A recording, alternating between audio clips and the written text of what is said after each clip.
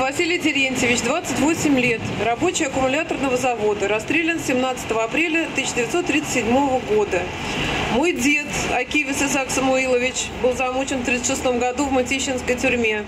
И второй мой дед тоже был арестован и отсидел полный срок, но выжил и смог вернуться. Вечная память невинно пострадавшим. Ржевский Александр Николаевич, 59 лет. Священник церкви в селе Горетово Луховицкого района Московской области. Расстрелян 14 марта 1938 года.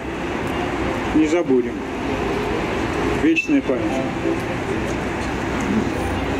Мой прадед, Хоть Соломон Яковлевич, бухгалтер Липецкого тракторного завода, 49 лет, замучен в тюрьме в ноябре 1952 года. Пономарев Филипп Кузьмич, 31 год, старший конюх колхоза имени Победы, расстрелян 5 февраля 1938 года. Мой прадед Гехтман Михаил Абрамович, 30 лет, военный, расстрелян 5 апреля 1938 года. Это не должно повториться. Носов Яков Иванович, 33 года, ассистент на кафедре экономической географии Саратовского планового экономического института, расстрелян 19 августа 1937 года. Новичкова Елизавета Васильевна, 40 лет, подсобный рабочий на фабрике. Расстреляна 17 сентября 1937 года. Мой дядя Зайцев Борис Андреевич, военврач, арестован в Ленинграде в 1938 году. Прошел сталинские лагеря.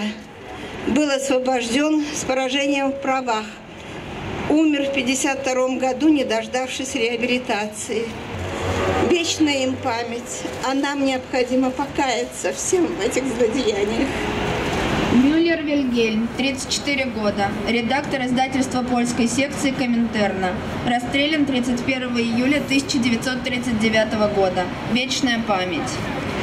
Мусатов Андрей Алексеевич, 36 лет, литератор. Расстрелян 5 октября 1936 года. Диктатура НКВД не должна возвратиться. Мой дед Григорий Самуилович Фридленд, 42 года, расстрелян 8 марта 1938 года. Светлая память всем расстрелянным. Плотников Игорь Семенович, 44 года, старший научный сотрудник НИИ советской торговли, расстрелян 16 сентября 1938 года. Ловицкий Мефодий Евтихиевич, 41 год, повар народной кухни, расстрелян 31 января 1938 года. Полиновский Яков Адамович, 22 года. Вальцовщик на заводе номер 95 в Кунцево. Расстрелян 10 марта 1938 года.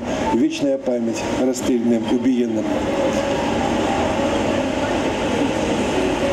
Сергей Васильевич Полунин, 42 года, доцент кафедры точного приборостроения Бауманского института. Расстрелян 3 сентября 1938 года. Мы не забудем.